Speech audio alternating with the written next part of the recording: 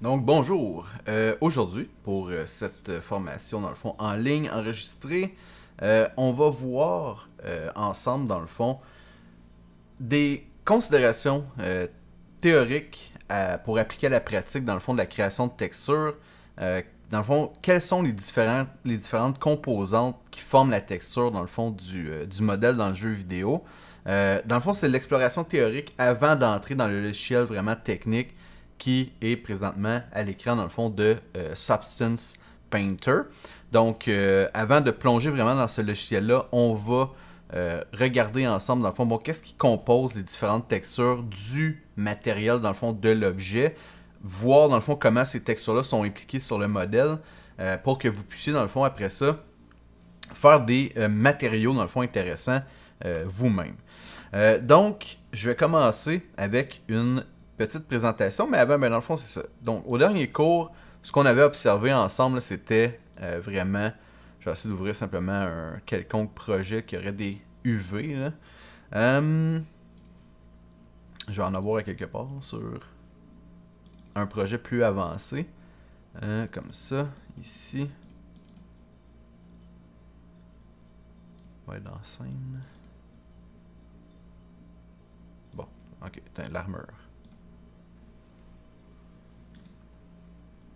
Donc, dans le fond, au dernier cours enregistré que, que j'ai euh, présenté, euh, c'était vraiment comment créer, dans le fond, des, euh, des UV pour un modèle 3D, pour le préparer, dans le fond, à recevoir une texture.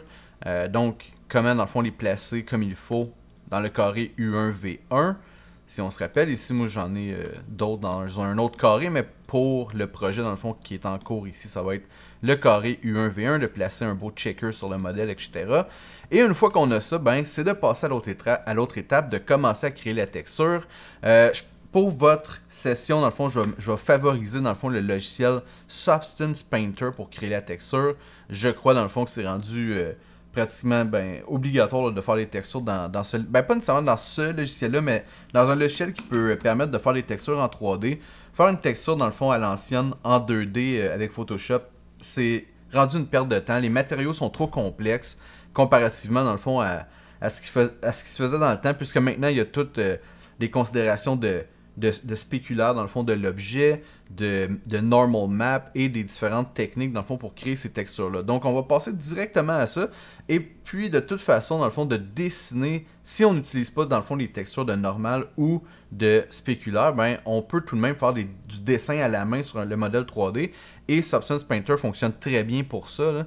Donc, voilà, passer du modèle euh, de- du dépliage 2D dans le fond finalement à la peinture euh, de, texture sur le modèle Euh, et on va regarder dans le fond les considérations euh, théoriques derrière euh, ces- ce travail-là.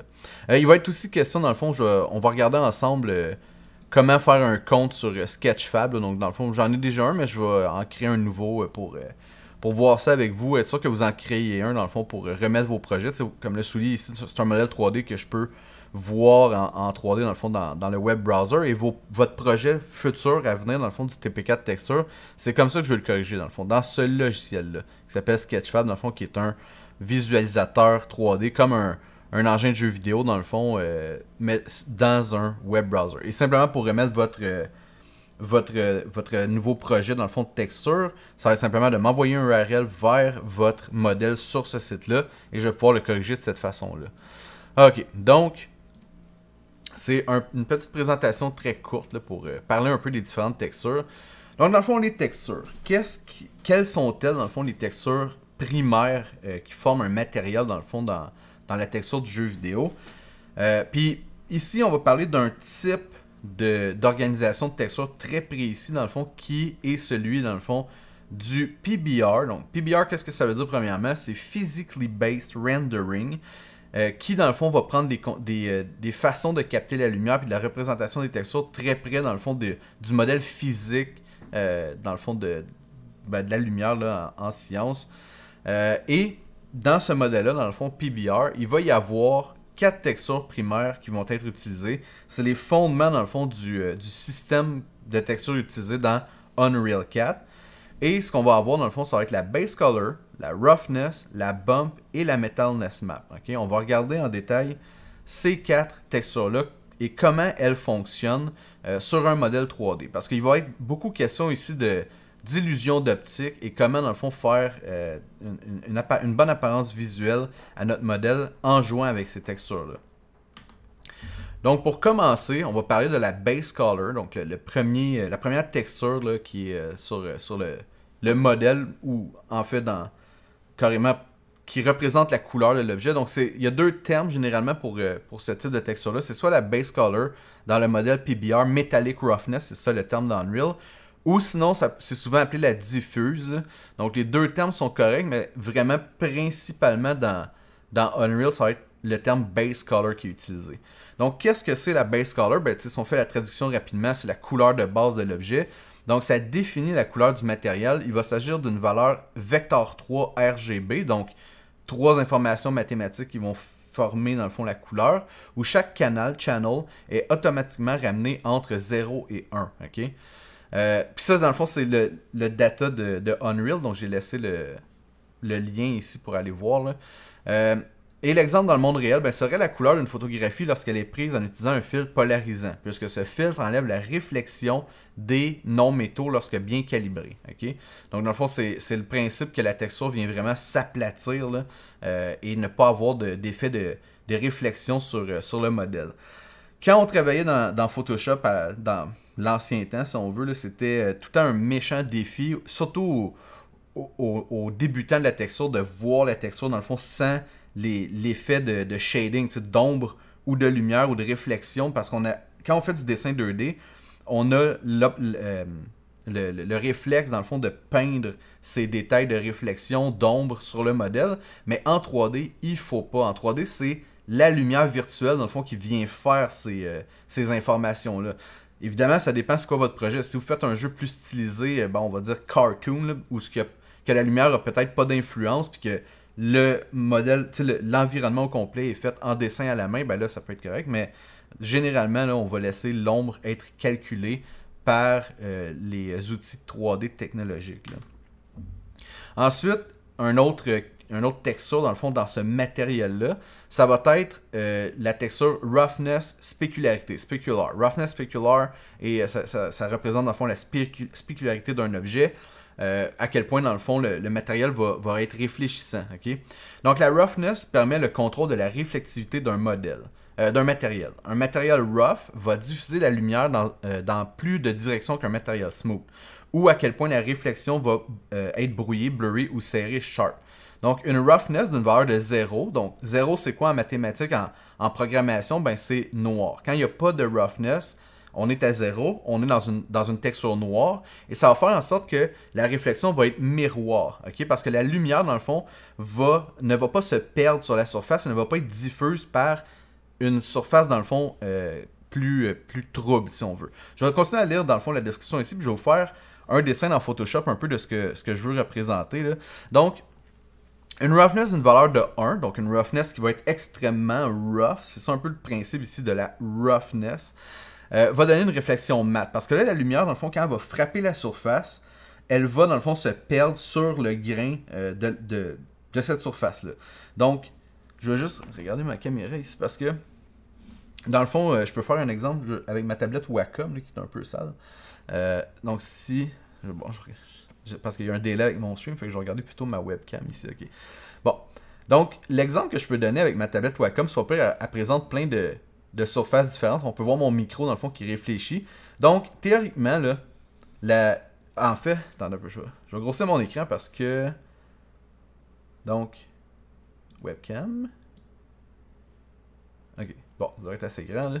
Ok, donc dans le fond, le principe, si on prend les. Euh, l'information que je suis en train de communiquer, là, dans le fond, dans, dans, dans cette présentation-là, bien, ici, la surface va être smooth. Donc, elle ne sera pas rough. Donc, ici, dans le fond, ce plastique-là dur va euh, réfléchir, dans le fond, la lumière parce que le plastique, ben, c'est un plastique dur, puis il n'y a pas de surface, dans le fond, pour venir intercepter la lumière. OK? Euh, à l'inverse, la surface ici, dans le fond, qui est un plastique euh, avec beaucoup de, de, picots. Ben, vous entendez, dans le fond, le fait qu'il y a de la texture sur la surface de ce plastique-là va faire en sorte, dans le fond, que quand la lumière frappe la surface, ben, elle va se fragmenter, dans le fond, sur celle-ci, puis va causer l'effet, dans le fond, de réflectivité plus mat sur l'objet. Et entre les deux, ben, on a l'emplacement où est-ce que je dessine euh, avec ma Wacom, qui, elle, va euh, être un mélange des deux, puis au milieu, ben, il est plus utilisé, j'ai plus frotté mon crayon, fait que dans le fond, il est plus réflectif, mais c'est un peu ça le principe, ok? Puis là, c'est là le concept que les, euh, personnes débutantes en 3D vont peut-être avoir de la difficulté à interpréter, c'est que ça, cette texture-là de roughness, dans le fond, est, interprétée par une texture grayscale, donc avec une, valeur de gris, ok? Donc, si je regardais cet objet-là, dans le fond, juste pour sa valeur, dans le fond, de, de spécularité, de roughness, ben, en fait, puis là, c'est là qui est dur à, comprendre parce que l'objet, il est noir. Mais, dans le fond, cet objet-là, ici, la, partie plastique dure réflective, euh, serait, dans le fond, noir. Donc, comme, la base color, ça resterait à peu près le même. Mais cette surface-là, ici, serait probablement d'un gris penchant vers le blanc pour représenter, dans le fond, la réflectivité de l'objet plus mat. OK? Donc, ça, c'est des, euh, des, choses qu'il faut, euh, qu'il faut s'habituer à comprendre et à voir quand on est un créateur de texture. Et ça peut être quand même euh, difficile à interpréter, surtout dans les premiers temps. Donc, je vais juste venir rétrécir ma webcam à nouveau pour qu'on voit plus le PowerPoint. Là. OK. Donc, une roughness de 0, noir, donne une réflexion miroir. Une roughness d'une valeur de 1, donc vers le blanc, va donner une réflexion mat. Donc c'est ça qu'il faut jouer avec ces valeurs-là et passer dans le fond du noir vers le blanc, dépendamment de l'effet qu'on veut donner à notre surface. Donc, euh, dans les l'échelle 3D, euh, cela est représenté sous forme de texture. Le 0 pour le matériel smooth ou réflectif est représenté par du noir à 100%. Et l'aspect rough ou mat est représenté par du blanc à 100%. Il est possible, dans le fond, de travailler les différentes nuances de gris afin de varier les effets de lustre. Et encore une fois, l'URL vers la documentation d'Unreal qui utilise ce système-là. L'autre texture qui va avoir certaines spécificités, c'est la Metalness ou Metallic Map. Donc, elle possède deux noms. Je pense que dans Unreal, c'est Metallic et dans Sketchfab, ça va être Metalness. Donc, c'est la même affaire, c'est pas grave. Donc, la valeur Metallic contrôle comment serait représenté le semblant de métal, dans le fond, sur l'objet 3D. Les non-métaux ont une valeur de 0, 100% noir et les métaux ont une valeur de 1, 100% blanc. Oui, c'est ça. Je fais juste. Ok, oui, c'est ça. Vous voyez, même moi, euh, des fois, ce détail-là peut euh, être encore pas vague, mais je, voulais être sûr de ne pas me tromper dans, ce que j'ai écrit, mais non, c'est ça exactement. Donc, cette valeur est presque assurément de 0 ou 1 pour des surfaces pures, ok? Comme du métal, de la pierre, du plastique ou même de la peinture. La peinture, faites attention, c'est du non-métal, ok? Euh, Lorsqu'il s'agit de surfaces hybrides comme de la corrosion de la poussière, les valeurs peuvent varier entre les absolus de 0 et 1. Cela est extrêmement rare et je vais pénaliser les projets si utilisés hors de contexte. Ici, je vais cliquer sur le lien pour aller le voir dans la documentation d'Unreal parce que c'est extrêmement précis. C'est eux qui le disent. C'est la documentation. J'ai traduit dans le fond la documentation d'Unreal? Donc, généralement, les surfaces d'objets que vous allez créer vont avoir une valeur, dans le fond, de 0 ou de 1. OK? Puis des fois, comme je dis, dans le fond, les surfaces hybrides vont avoir des surfaces entre 0 et 1. Donc, ça, c'est, quelque chose qui est très difficile à, interpréter au début puis à comprendre, parce que c'est quelque chose qu'il faut qu'on se rentre dans la tête. Mais dans le fond, la texture de la Metallic Map va être justement noire pour les non-métaux et blanche pour les métaux. Et il peut y avoir, dans le fond, des jeux entre les deux de temps en temps. Donc, faire très très attention à cette, euh, cette chose. Euh, puis je vais, je vais, montrer des exemples après dans Sketchfab pour voir un peu euh, comment, comment les travailler. Là. Donc ici, je vais juste passer euh, à travers les, différentes, les différents critères. et le dernier, la dernière texture très importante dans le fond pour pouvoir texturer le modèle de jeu vidéo sous Unreal pour l'instant, parce qu'on ne sait pas ce qui va arriver avec l'évolution des technologies, etc. Ça va être la normal map ou la bump map. ok? Donc, en jeu vidéo, on utilise surtout le, la, normal map qui fait un effet de relief. Euh, puis dans le fond, c'est ça. C'est que ça permet de modifier l'apparence d'un objet 3D en perturbant sa normale, ou la surface de chaque polygone. Dans l'image ici, on voit deux haches. Donc, ouais, on le voit assez grand dans le stream, juste pour être sûr. Donc, deux haches de la même, qui possèdent la même topologie. Donc, ces deux haches-là ont le même nombre de vertex, le même nombre de faces, euh, la même topologie. la hache plus basse donc celle en bas, possède une normale bien détaillée.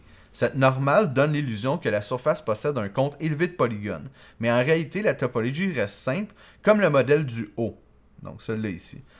Euh, il s'agit en fait d'une conversion d'un modèle haute résolution en polygones sur un modèle basse résolution. Donc, vraiment un, concept qui s'appelle, en termes anglophones vraiment étrange, qui s'appelle le bake. C'est qu'on cuit, on place dans le fond un modèle haute résolution sur un modèle basse résolution, et ça va donner cet effet de, relief dans le fond sur le, le modèle. La bump map que nous allons utiliser pour ce cours est relativement semblable à la technique mentionnée plus haut, simplement un peu moins performante que la normal map dans l'engin de jeu vidéo. Bon, ici, là, c'est pas vrai, la bump, euh, je l'utilisais avant quand j'utilisais euh, Photoshop, mais là, on va l'utiliser dans la normal map parce que vous allez travailler dans Substance, puis Substance fait automatiquement de la normal map. Donc, ça ici, ça, change un peu, mais théoriquement, ce que, je voulais dire ici, c'est que la bump map, quand vous allez la travailler dans Substance, parce que Substance fait la conversion automatique, dans le fond, en normal map. Mais, quand vous allez le travailler dans Substance Painter, ça va s'appeler, dans le fond, la 8 map, qui est à peu près la même chose, et ça correspond à une, bump map. Je vais vous montrer immédiatement avant de, de m'embourber dans, ce texte-là, mais regardez bien, ok? Donc, dans le fond, ici, euh, c'est bon, un, modèle 3D que j'avais fait, puis, tu sais, juste pour vous montrer, tu sais, quand on le regarde, euh, ben, dans le, viewport, dans le fond, de Substance Painter. Je vais aussi peut-être mettre de la perspective, ça, peut être intéressant. Bon. Euh, tu sais, quand on le regarde dans le modèle, dans le dans, dans, l'interface de Substance Painter, on voit qu'il y a du détail, c'est super intéressant comme modèle. Mais, si, je vous montre, juste me mettre un, paintable layer pour pouvoir travailler dessus. Donc, bon, vous voyez, ça c'est le wireframe. Donc, il n'y a pas grand détail. Même moi, tu sais, ici, mes bevels, ben, j'en ai à peu près pas fait parce qu'ils sont... En fait, c'est ça ici la distinction que vous, en, ce moment, vous ne connaissez pas nécessairement. C'est le fait que les fameux bevels, que j'arrête pas de, vous taper sur la tête pour, euh, pour pouvoir les faire, ben, c'est qu'ils peuvent être faits en texture. C'est ça que j'ai fait ici. Dans le fond, c'est le principe que j'ai converti une texture euh, en ces coins arrondis-là. parce que je voulais garder au maximum l'objet low polygon, dans le fond, le plus optimal possible. Bon, ça fait partie, mais c'est pas trop grave. Donc, voilà. Euh, c'est cette illusion d'optique-là, dans le fond, qui est possible. Évidemment, euh, il y a beaucoup de manipulations pour y arriver. Euh, dans le cas du cours de création 3D 1, on va pas le voir immédiatement comment faire, dans le fond, un bon bake de normal. Parce que je, je trouve que c'est ça, ça, nécessite quand même beaucoup de connaissances qui restent à, avoir avant d'aller là. Mais au prochain cours, à la session d'hiver, on va pouvoir, dans le fond, l'observer. Autrement, là, j'ai changé de matériau, c'est pour ça que ça, que ça, load autant. Euh, ok, bon, ici, je juste. Je sais pas si je peux la grossir. Bon, ça, ça serait dans le fond la normal map principale de mon objet, puisqu'il a été fragmenté en plusieurs segments. Mais dans le fond, c'est là que j'ai fait ce fameux bake grâce au logiciel Substance pour avoir ce volume-là. Euh, ok, donc je, vais repasser en détail les, euh, les critères, dans le fond, que j'ai mentionné tout à l'heure, de, de, de couleur, etc. Donc, dans le fond, ici, je pense que c'est ça. Je peux regarder l'objet sous ses textures individuelles. Ok, donc regardez bien. Ça, c'est le rendu 3D euh, de l'objet. Théoriquement, si, je le place dans Sketchfab, ça devrait sensiblement ressembler à ça. C'est sûr que la lumière de l'interface va être différente, là. mais en gros, ok, je peux même me placer, regardez, je vais placer aussi 3D euh, et 2D pour que vous voyez dans le fond l'aspect de, de ce modèle-là sous sa forme 2D, le dépliage dans le fond. Là. Euh, donc, si je, place le viewport, bon ici, matériel, en fait, ok, il va falloir que je change aux deux places, mais c'est pas grave. Il y a moyen dans le fond de voir chaque single channel dans le fond du, euh, du matériel, dans le fond, que, que, j'explore ici. Et là, si je regarde la base color, ok, donc, ah, ok. Donc, voici la couleur en aplat, dans le fond, du modèle. ok Ça, c'est sa base color, ça n'est que la couleur de l'objet. Et comme vous pouvez voir, tous les effets de réflectivité, dans le fond, du modèle sont créés par le logiciel. Donc, je n'ai pas peint là, de d'ombre. Ben, à quelques endroits, oui, là, comme dans certaines cracks, il va y avoir un, un effet de, de triche qui s'appelle de l'ambient occlusion, qui va créer dans le fond un certain relief dans, certains coins. Euh, mais autrement, tu pensez aux métaux, comme ça, c'est en fer, ça, c'est en espèce de d'or étrange. Eh bien, ça, euh, sans l'effet de lumière, ben, il n'y en aura pas. ok? Ensuite, si on regarde, par exemple, on va regarder la roughness map. ok?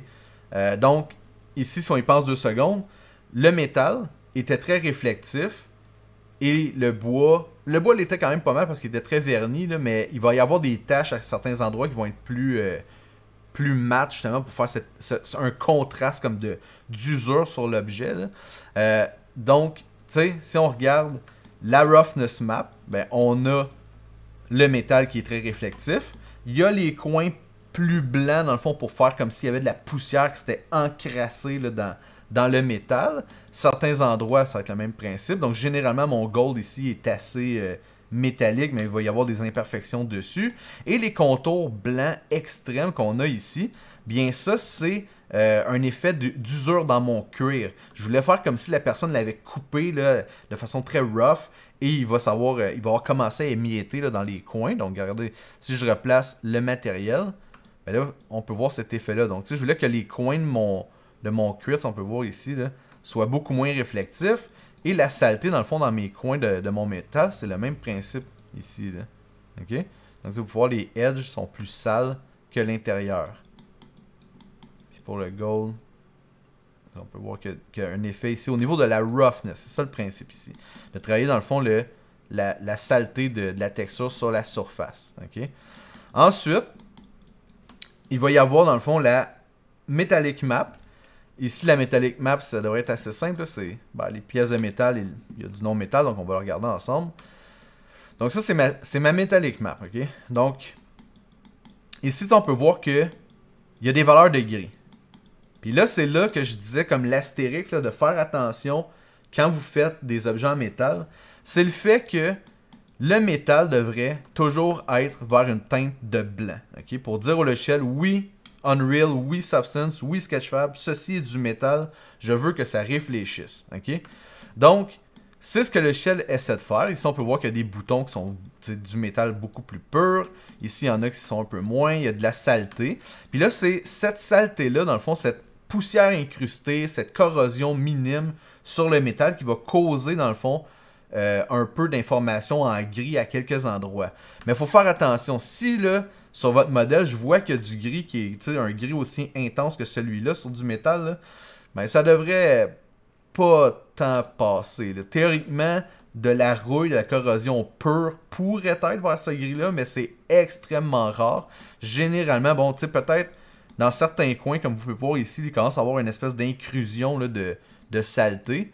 Ben ça, ça pourrait être considéré comme de la corrosion, mais c'est un cas minime sur la surface d'un objet. Dans les coins, ok. Peut-être dans euh, l'intérieur ici, il va en avoir un peu, mais généralement, le métal va être blanc. Euh, et ce qui n'est pas du métal devrait être euh, noir. Comme là ici, sans blague, je n'avais pas observé le modèle avant de le, passer en review, mais mon bois, il y a un problème dessus. Donc, il faudrait que je le corrige. Il faudrait que je place le bois verni ici, dans le fond, d'un... d'un... d'un...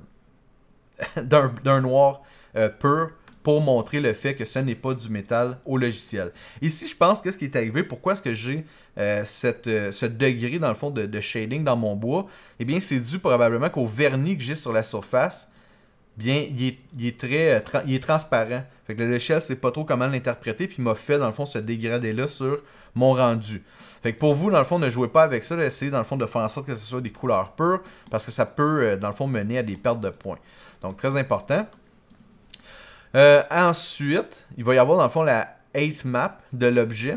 Euh, ici, dans le fond, ben, ça peut être un combo de deux affaires, soit la normale ou la 8 map. Mais la 8 map, je... dans le fond, la 8 map, ce que ça, ce que ça fait, c'est que ça donne du relief ok, sur l'objet. Donc présentement, on peut voir comme par exemple ici le builder, que j'ai carrément, j'ai peint à la main sur l'objet, mais ça va être dans le fond de l'information euh, qui va donner un relief à l'objet. Puis ça, je vais le montrer plus en détail, donc regardez bien. Ok, donc sans trop parler du logiciel, parce que ça, ça va être au prochain cours que je vais passer en détail dans le fond de l'interface, je vais vous montrer sur un nouveau Paint Layer le principe qu'il est possible de peindre de la 8 map sur le modèle. Puis les meilleurs projets que je reçois, dans le fond, c'est ça qui est fait. Les étudiants, dans le fond, essaient de- d'explorer des façons de travailler le relief du modèle sans passer par la modélisation. De toute façon, la modélisation pour ce projet est interdite. C'est vraiment un projet de texture.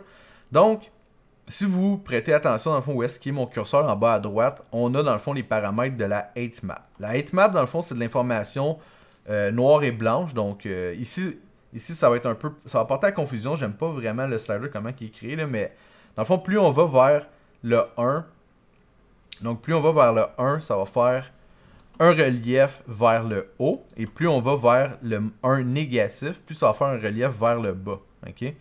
Donc ça, c'est le principe que on va peindre un type de couleur. On va regarder ce que ça a donné. Donc là, on le voit pas parce que le reste il est noir. J'aimerais... Je vais essayer de voir si je peux... Je vais essayer de tricher puis de le, changer, ce background-là, pour que vous voyez un peu mieux. Là. Euh,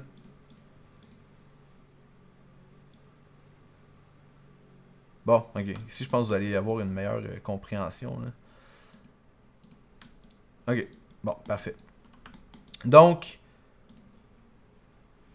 donc, la map. Ok, La map fait une illusion de relief qui va être converti en normal map. C'est pas la même chose, comment ça fonctionne sous l'aspect informatique, mais vous, au final, ça va donner un peu le même résultat. Puis là, quand vous voulez dessiner peut-être des scratches sur votre modèle, ben, ça va être important, dans le fond, de travailler avec ce paramètre-là ici et de dessiner, dans le fond, soit du blanc pour créer un relief qui va vers le haut, ou du noir pour un relief qui va vers le bas. Donc, ça va être de jouer avec ces deux valeurs-là, dans le fond, pour créer un effet de relief sur la surface de l'objet. Puis là, je vais vous montrer, je, ben, vais le montrer plus en détail dans l'autre cours, mais je vais faire juste un, un, un, petit, euh, un petit, une petite façon de penser cette 8 map-là plus logique que juste de dessiner dessus, parce que ça peut être très, euh, très difficile, quoique avec la tablette Wacom, il y, a, possibilité de faire des choses très intéressantes. J'ai vu des étudiants dessiner des merveilles euh, à main levée sur un modèle 3D, puis c'est absolument pas c'est absolument adéquat.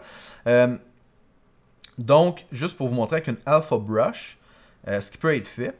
Donc, ici, je vais juste la peindre sur mon modèle avec un certain volume. Puis là, c'est le principe que moi, c'est une façon que j'aime bien travailler. C'est libre à tous de, l'utiliser ou non, mais c'est le principe que en dessinant des, des masques ok, dans Photoshop, il y a moyen de créer des pointes de dessin. Donc, c'est ça ici un peu le principe de la Alpha Brush. Et pouvoir venir la mettre en relief sur le modèle 3D. ok? Donc, ça, c'est un builder que j'ai dessiné dans, Photoshop. Et je vais pouvoir, dans le fond, après ça, l'appliquer sur mon modèle 3D. Puis, dans le fond, ce, ça peut être peint sur n'importe quelle surface grâce à la 8 map. Donc, ça, je la mets en relief. Puis, ça se combine en plus avec le grain de l'objet en dessous. Donc comme ça, je peux la faire à l'inverse, dans le fond, qui va vers l'intérieur du cuir. Donc, comme ça.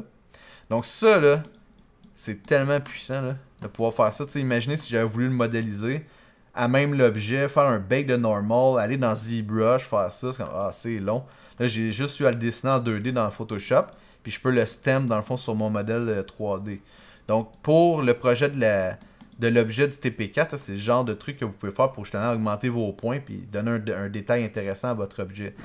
Euh, puis juste pour vous montrer à quel point c'est, ça peut être performant de travailler de cette façon-là, je vais aller euh, chercher la présentation. Ouais, elle finie. Donc c'est à peu près ça. J'ai fait le tour ici dans dans euh, dans Substance. Juste vous montrer c'est un projet que j'ai déjà réalisé par le passé avec cette technique-là, du fait que je dessine directement sur le modèle 3D plutôt que, que, de faire des bakes très complexes avec d'autres logiciels, ben ça c'est un, modèle plus, plus près dans le fond du personnage que j'avais fait. Euh, tu sais, qui est quand même intéressant, je vais pas, vais pas passer trop vite. Donc, c'est un super rendu. Dans Unreal, puis là, ce que, ce que j'ai voulu faire, c'est dessiner, dans le fond, la peau de la tortue directement dans le logiciel. J'ai modélisé, entre guillemets, dans le fond, par du dessin de 8map, les marques de la coquille, les plis dans la peau, etc. Donc je voulais pas le modéliser, je voulais le dessiner directement dans le fond par la texture. C'est comme un challenge que je me suis donné. Puis j'ai parlé par le passé avec des, amis dans le fond de mon bac qui sont rendus des character models dans l'industrie. Puis ils disent que de plus en plus ils vont procéder de cette façon-là, de dessiner dans le fond de l'information sur le modèle directement, plutôt que de faire euh, des milliers de bakes dans, par ZBrush ou euh, d'autres euh, logiciels dans le fond. Euh, et ici, on peut voir le, modèle de base euh, que j'avais faites. On peut voir qu'il n'y a pas de plis à, certains endroits. Il n'y a pas de traces sur la coquille. Le modèle est quand même assez basse résolution. Et je suis venu, dans le fond, le dessiner à la main dans Substance Painter. Donc, ajouter du détail après avoir fait la modélisation par la texture. Puis ça, dans le fond, ce, ce, pipeline-là, dans le fond, c'est quelque chose que vous allez unlock à force de pratiquer la création 3D, à force de faire de la modélisation, de la texture et voir qu'est-ce qui peut être fait en texture et en modélisation. Donc, c'est sûr qu'au début, ça va être encore une fois, ça va être difficile, mais euh, ça va être possible éventuellement de, de, déverrouiller le, la connaissance vers ça, unlock the knowledge euh, pour le faire. Donc voilà pour ça. Euh, puis, ben dans le fond, ici j'ai parlé juste de la map. Donc la map, comme je le dis, regardez si on regarde... Euh, bon, ma brush, c'est ça, c'est celle qui rentre vers l'intérieur. Ben, quand, ça, quand la map, on veut un détail qui rentre vers le modèle, vers le centre du modèle, si on veut, ben, ça va être en noir. Si on veut de l'information qui va vers l'extérieur du modèle, ça va être de l'information en blanc. Donc, c'est les deux valeurs de, gris qu'il faut euh, maîtriser. Si on laisse ça un gris 50%, ben, généralement, ça devrait rester plus plat. Euh, tu sais, d'ailleurs, ben, regardez, je vais juste vous montrer justement. si je dessine avec la map à 0, donc ça, c'est un gris euh, normal. Je vais prendre une brush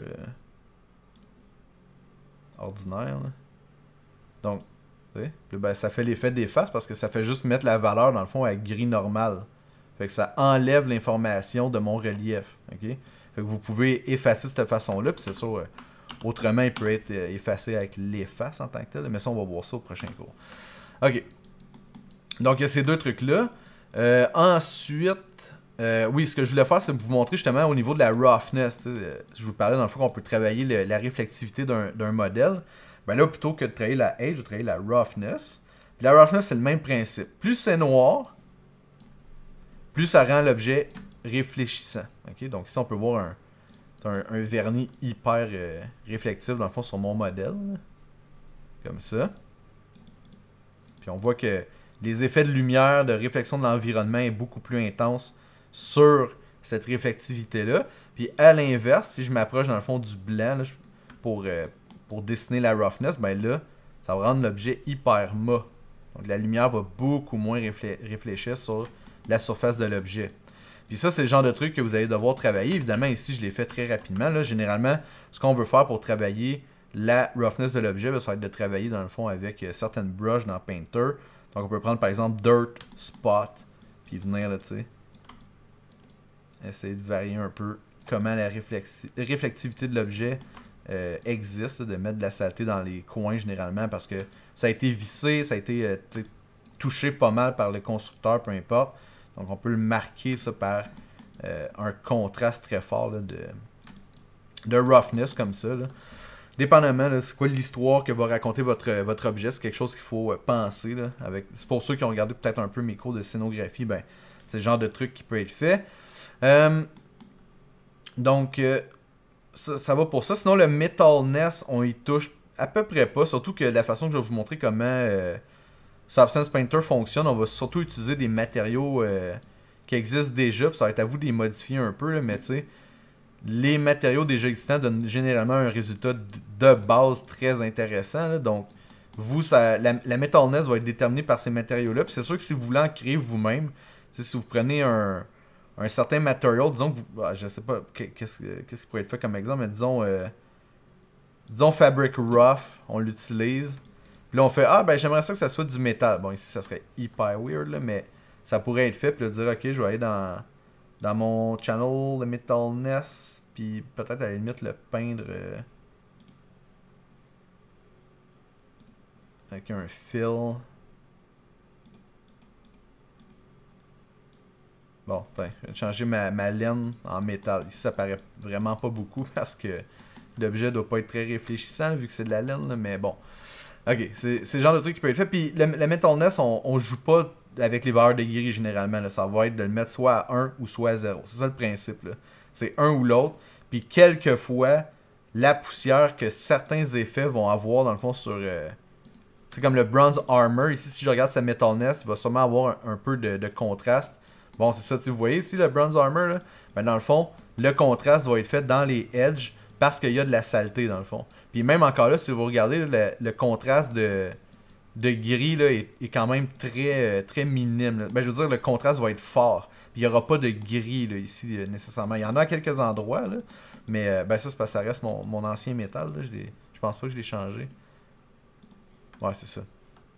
Mais si vous regardez ici le bronze armor, ben ça va être du métal dans l'entièreté de, la surface. Puis a quelques endroits, quand c'est de la saleté, de la poussière, ben là, ça va être du non-métal. Donc, c'est les textures là, importantes à respecter. Autrement, juste faire un retour avec la base color. Ben, la base color, c'est carrément de la couleur flat. Donc, il n'y a pas d'effet d'ombre, il n'y a pas d'effet de lumière. C'est l'aplat de la couleur sur le modèle. Puis, on laisse la lumière 3D du logiciel faire nos effets d'ombrage, de ambient occlusion, de réflectivité, etc. OK?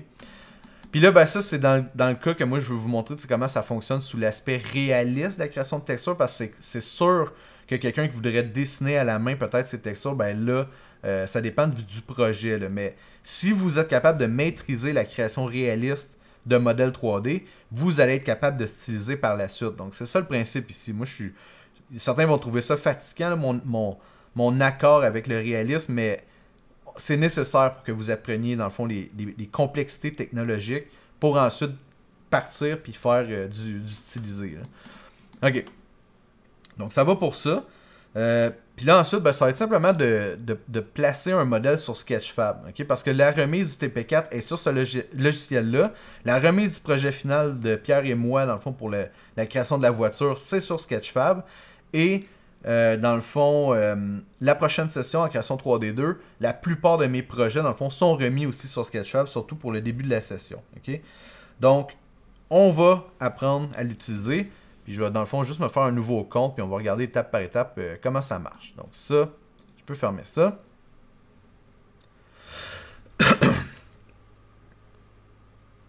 ok, donc ça, c'est la, page de base de Sketchfab. Donc, c'est simplement sketchfab.com. Puis là, je vais faire Join for Free. Puis, je peux pas déplacer ça. Je vais le faire ici, juste pas que... Je vais mettre dans le fond euh, des infos un peu bidons, puis...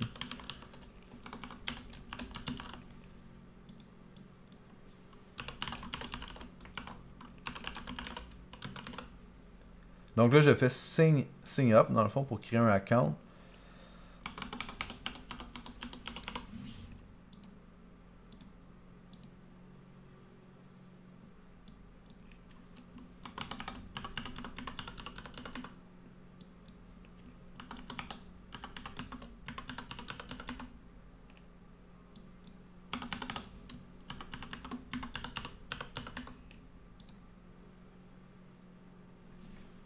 Ok. Donc j'ai entré dans le fond un, nom, euh, un nom d'utilisateur. J'ai envoyé un courriel quelconque et j'ai mis un password. Et là, dans le fond, je peux euh, upload un 3D, un 3D model. Donc, je vais faire ça. Euh, donc le nom, bon c'est ça, le nom du, du, truc, individuel, puis le profile. Je vais être un artiste. Ouais. Continue. Euh, free. Donc, juste euh, uploader des models gratuits. Puis là, dans le fond, ce que je vais faire, c'est... Je vais préparer avec vous un modèle pour être sûr que vous connaissez, dans le fond, les techniques d'export de, de, base. Donc, pour cet exemple-là, je vais aller chercher euh, un autre modèle. Donc, dans mes cours...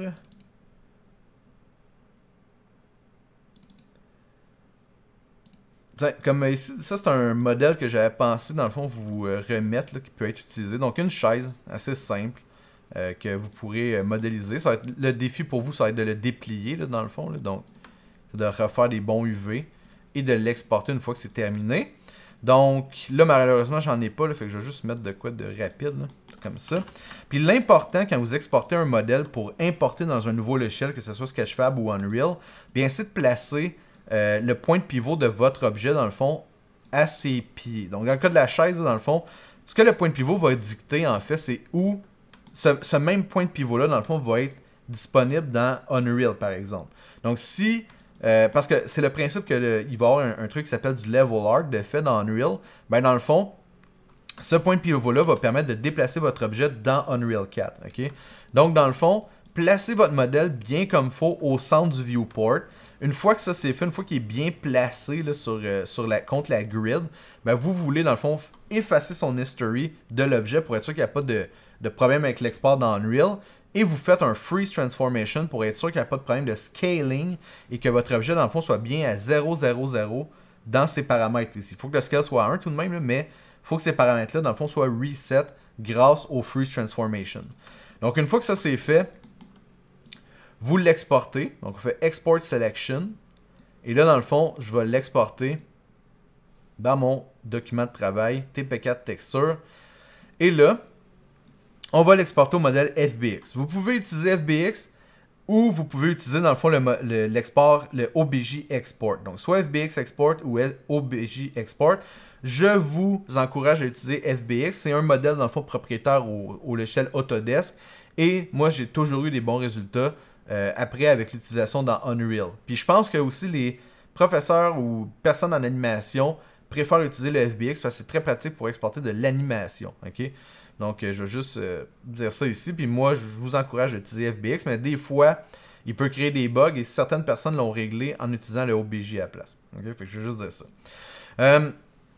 Ce que vous voulez inclure, dans le fond, dans cet export, ça va être dans la géométrie. vous voulez, dans le fond, avoir le, les smoothing groups, le tangent and binormals. Puis vous pouvez, dans le fond, avoir absolument rien d'autre. Donc, juste smoothing groups et tangents and binormals, ça va vous permettre, dans le fond, d'exporter correctement votre modèle. Pas besoin de trianguler pour euh, ce projet-là, donc ça, pas besoin d'être coché. Puis là, ben, c'est de donner, dans le fond, euh, un, euh, un, nom correct au projet. Donc, disons, moi, ce serait...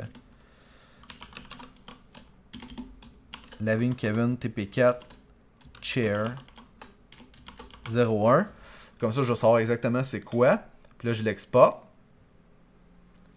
Et là, dans le fond, dans Sketchfab, ce que je vais faire, c'est faire Upload. Et là, je peux, bon, ça a l'air qu'on peut faire un drag, and, drop. Je pense que c'est ça que je vais faire. Ça fonctionne tout le temps très bien. Donc, juste aller chercher mon root euh, folder, mon fichier de source.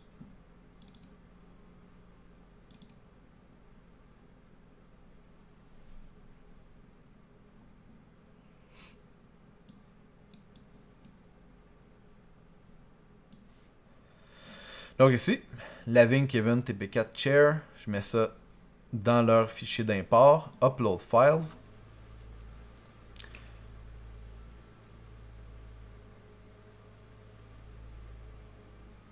Ah oui, c'est vrai. Regardez, ça ici, c'est absolument important de confirmer votre email euh, pour euh, envoyer un projet parce que si vous ne le faites pas, euh, dans le fond, moi, je ne pourrais pas corriger votre projet. Donc, extrêmement important de faire une confirmation de votre courriel. moi, je vais le faire sur le côté ici, là, tant qu'à faire, pour montrer les bonnes choses.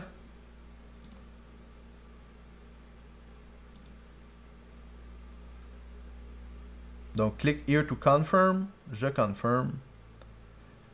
Et ça devrait être bon, là.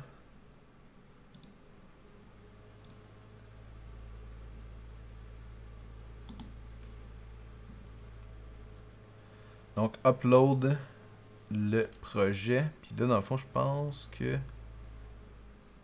Donc, c'est important de le laisser à public. Donc, on laisse ça à public. Anyway, les autres nécessitent d'avoir un un account payant. Euh, download, on peut le mettre à free. Donc, comme ça, dans le fond, vous allez pouvoir uploader plusieurs modèles. Euh, puis, dans le fond, ça veut dire que les modèles peuvent être downloadés par euh, les utilisateurs du, site. Mais là, c'est pas grave. Ça va être bien correct comme ça.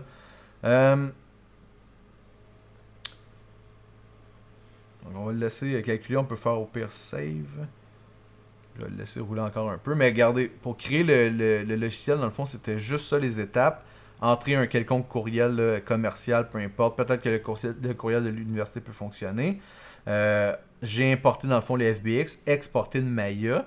Ensuite, dans le fond, j'ai mis le download à free. C'est anyone qui peut le voir. Euh, puis là, je veux juste voir si je peux faire View My Model pendant qu'il est en status de draft. Je suis mieux de rester sur la page. Donc ça prend un certain temps, mais une fois dans le fond que vous avez euh, placé le modèle sur Sketchfab, n'aurais pas de problème. Je vais le laisser euh, travailler puis aller, aller me connecter à mon autre account en attendant.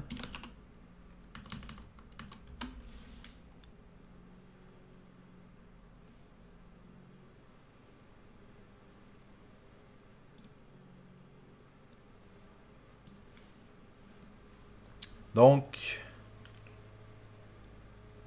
ça c'est mon autre compte. Puis ça, ben, c'est dans, le fond le test de la voiture que j'avais fait à l'époque. Euh, puis là, dans le fond, moi, quand je vais, quand je vais corriger un modèle, c'est simple, je clique sur, l'URL que vous m'avez donné. Ça va m'amener une fenêtre comme ça. Et là, je fais Model Inspector. Puis c'est à partir, dans le fond, de ce menu-là que je peux observer vos textures une à une. Puis m'assurer, dans le fond, que vous avez fait un travail efficace pour les positionner, dans le fond, sur votre, sur votre objet. Euh, aussi, très important, il faut que j'aille l'accès au modèle 2D. Donc ça, juste rien changer, puis tout va être bien correct. Là.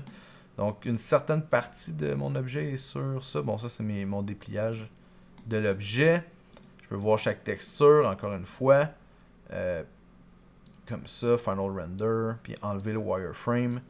Donc ça, c'est vraiment pratique. Personnellement, ça fait quelques années que je travaille avec des corrections avec ce logiciel-là, puis ça, c'est vraiment efficace. Puis c'est une bonne pratique, je trouve, pour les étudiants de première année, dans le fond, de pour tester des textures sans s'embourber dans, dans, Unreal 4, parce que Unreal 4, dans le fond, il y a un cours précis euh, pour son utilisation tellement que c'est dense comme logiciel. Donc ça, c'est une bonne introduction pour tester les différentes textures sur un objet. Puis euh, pratiquer Substance Painter, etc. Euh, donc juste voir où est-ce qu'on en est. Donc c'est encore un peu long. À moins qu'il faut que je fasse confirm pour...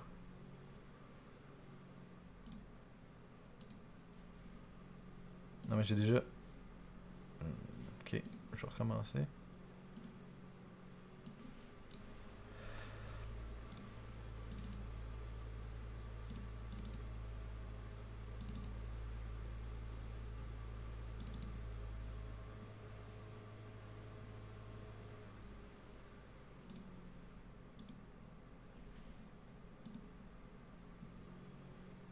Ah, the model is already processing. Bon, c'est ça. Donc, ça prend un certain temps euh, à uploader le model. Mais bon, j'en ai un déjà ici. Puis, euh, je vais juste vous montrer, dans le fond, où placer vos textures. Une fois que vous avez, vous allez avoir finalement votre modèle, euh, il va être possible, dans le fond, de, placer vos textures dessus, évidemment. donc, ici, ben, possiblement, il va falloir que je me, je me login. Donc...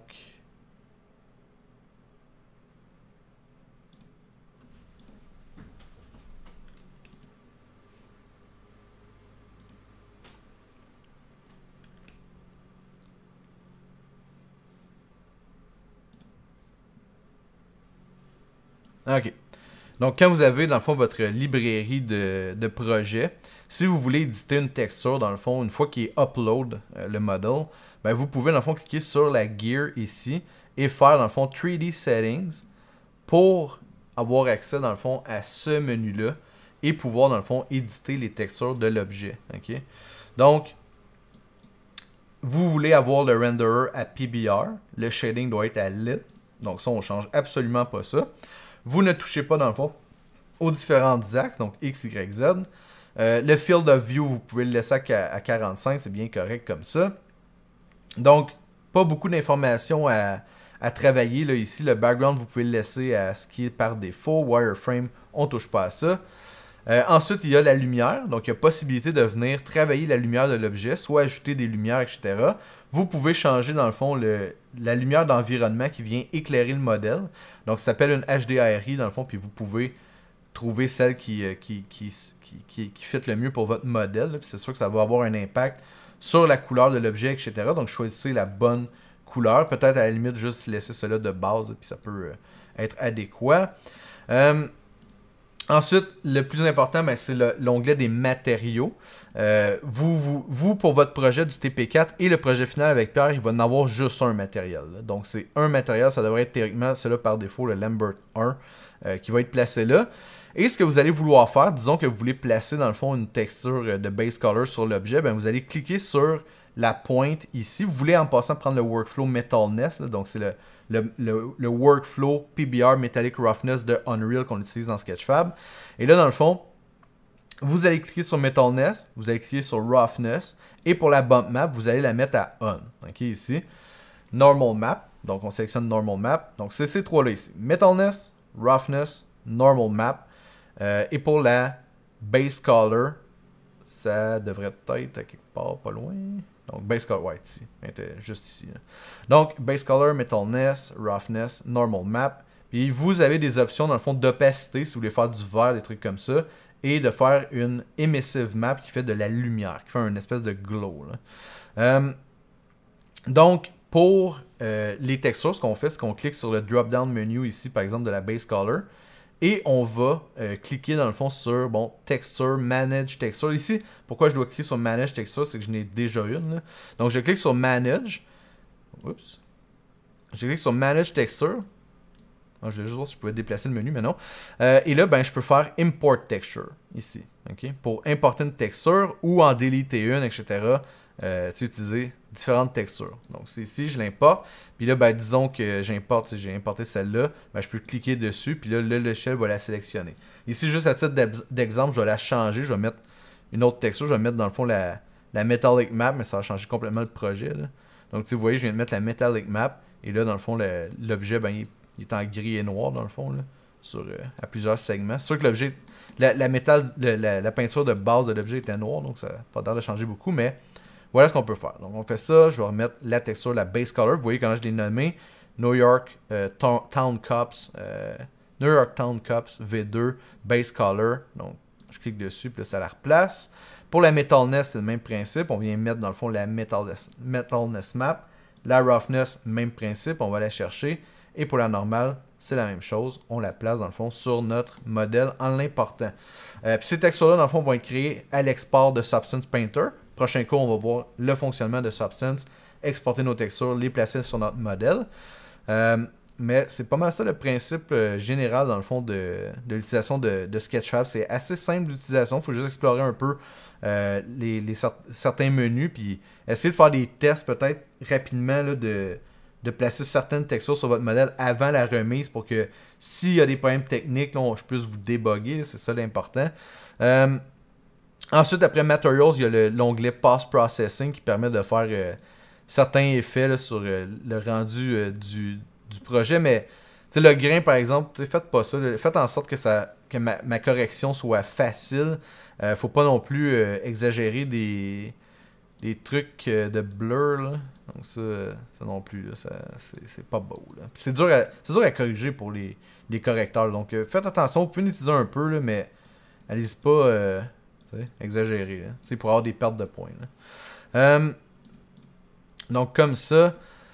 Ensuite, annotation. Bah, il va y avoir des notes sur le projet, mais j'en aurai pas de besoin. Il y a possibilité de mettre d'animation dans, Sketchfab, mais moi pour le projet, il n'y en a pas il semblerait, ça, je ne savais pas que, ça existait, mais on dirait qu'on peut euh, mettre des projets dans le fond pour être vu en 3D. Et il y a du son, mais ça non plus, on n'utilise pas ça. Donc euh, voilà pour ça. Utilisation Sketchfab. Puis Sketchfab, c'est un, outil que je trouve vraiment pratique pour euh, partager des modèles 3D d'étudiants. Puis aussi vous-même, vous pouvez aller voir dans le fond ce qui se fait dans, le domaine de, de, modèles 3D. Il y en a qui sont assez phénoménales. Donc, si vous voulez voir justement, là, ça, c'est quand il y a cette icône-là, c'est les pics euh, de, de Sketchfab, puis il y en a qui sont euh, assez incroyables. Hmm, ça là, est correct. On va laisser loader, mais. On dirait un scan. Parce que certains détails où la texture elle stretch un peu, je sais pas si c'était voulu. Mais quoi qu'il. Non, il est quand même assez bon. Ça va être un modèle euh, fait là. Avec des bakes etc. Donc voilà, euh, petit tour dans le fond de Sketchfab. Ça va être tout pour aujourd'hui, donc, gardez euh, ça assez euh, restreint pour que vous puissiez dans le fond vous retrouver avec, tous les paramètres que j'ai énoncés. Donc ça va être la fin pour cet aspect plus théorique peut-être de, la pratique des textures. Et le prochain cours, la prochaine diffusion que je vais faire, va vraiment avoir dans le fond de A à Z l'interface de Substance Painter, comment on peut l'utiliser dans le contexte de notre projet, parce que c'est sûr qu'il y a des manipulations plus avancées qu'on ne fera pas pour l'instant. Ça va être vraiment juste de apprendre à utiliser le logiciel, à peindre directement sur un modèle et de faire dans le fond un travail de texture appréciable dans le but de l'explorer pour une première fois. donc voilà, merci de votre attention.